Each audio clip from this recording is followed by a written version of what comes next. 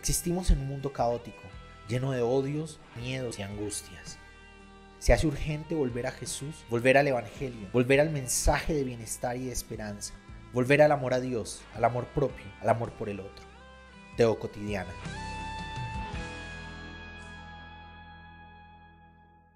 He tenido la oportunidad de compartir con varias personas en diferentes momentos acerca del proyecto. De la abundancia del corazón habla la boca.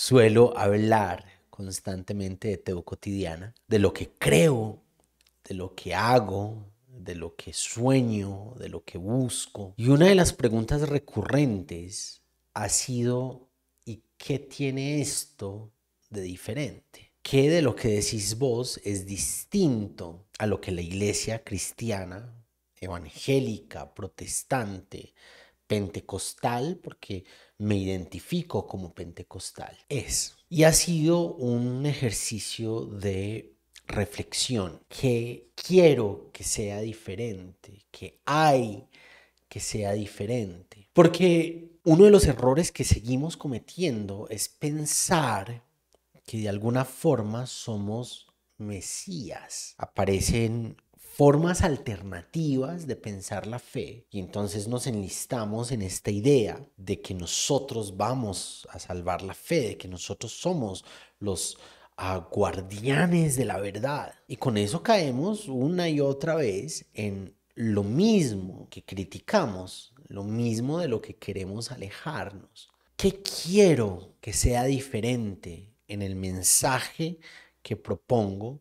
No que sea el adalid que va a salvar la iglesia. No creo que se trate de eso. Creo que se trata de la posibilidad que nuestro tiempo, nuestra época, nos permite de alzar la voz y de que esa voz pueda llegar a diferentes lugares a través de los medios, de las redes sociales, de YouTube, de otras plataformas de audio y de video. ¿Qué nos hace diferentes? ¿Qué me hace diferente? ¿Cuál es la diferencia en lo que enseño, explico en mi discurso, en lo que pienso? ¿Cuál es la diferencia también que se propone como iglesia? Porque en últimas lo que estamos haciendo al levantar la voz es proponernos como iglesia, como comunidad de fe y de esperanza y del amor, seguidores de Jesús. Y creo que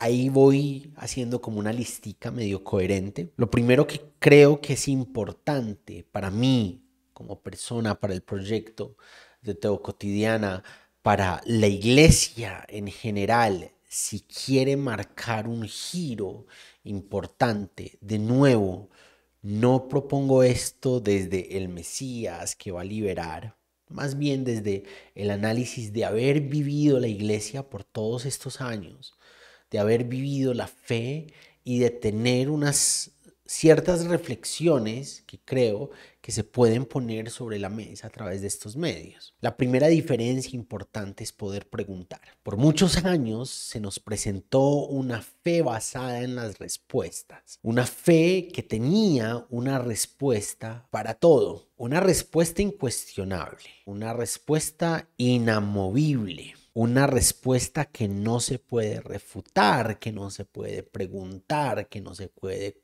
cuestionar. Pero creo que la pregunta es parte esencial del Evangelio. Creo que la pregunta es parte esencial de Jesús. A lo largo de su vida y obra, Jesús está haciendo preguntas. A lo que Jesús llama estaba en los negocios de mi Padre era hacer preguntas en el templo. Y Jesús termina la vida gritando, Dios, ¿por qué me abandonaste? Empieza la vida adulta con preguntas en el templo acerca de Dios, acerca de la fe de sus padres, acerca de la fe judía, y termina su vida haciéndole preguntas directamente a Dios acerca de su vida, acerca de sus emociones, acerca de lo que le estaba pasando. Y creo que cuando basamos nuestra fe en la respuesta, la fe se convierte en algo hermético, algo sin vida, algo raquítico. Creo que lo que le da vida a la fe es precisamente la posibilidad de preguntar.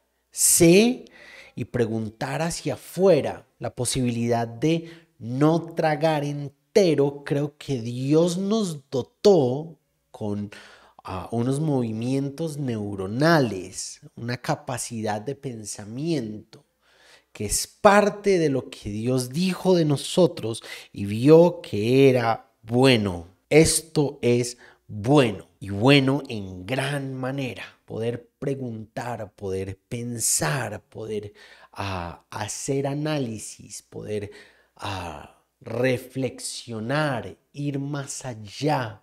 Es parte de lo que somos que Dios puso de sí en nosotros. Y creo que una iglesia dinámica es una iglesia que se permite la pregunta, que no necesariamente lo sabe todo, que no necesariamente tiene sistemas organizados para contestar cada una de las preguntas, que se permite descubrir las respuestas en la medida que van apareciendo entre los feligreses, entre las personas, entre los cristianos. Una iglesia que permite la pregunta es una iglesia que marca la diferencia, porque la iglesia tradicionalmente por muchos años nos ha callado y somos bienvenidos en las iglesias mientras pensamos igual, mientras no cuestionemos las respuestas, mientras no hagamos preguntas. Y creo que es importante darle lugar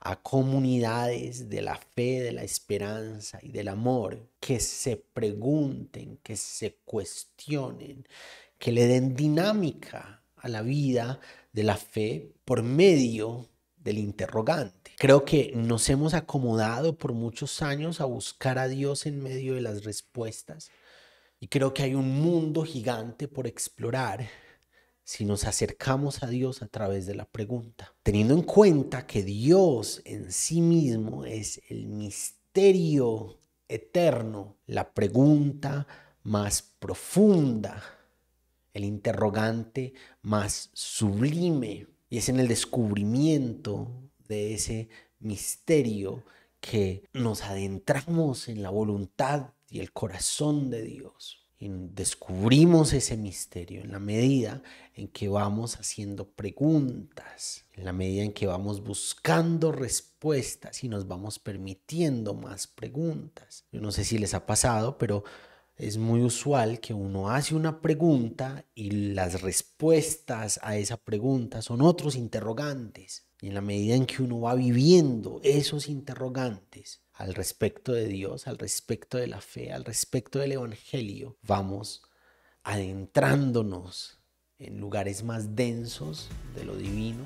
Teo Cotidiana es un espacio donde vos y yo podemos conversar sobre Jesús. Es una comunidad de personas de diferentes partes del mundo que nos juntamos en torno a la reflexión de la fe cristiana. Si vos quieres ayudar a que este proyecto sea cada vez más grande, a que cada vez tengamos más herramientas comunitarias para esta conversación, yo te invito a que seas uno de los Patreons de Teo Cotidiana. Muchas gracias por ayudar a que esta conversación sea cada vez más grande. Lo segundo es que creo que la iglesia, creo que la diferencia de la iglesia debe estar marcada por la aceptación del diferente. Eso hizo Jesús, eso fue el movimiento de Jesús. Eso es lo que otras posibilidades de la religión de la época notaron y señalaron. Este se sienta con los pecadores, este se sienta con los impuros,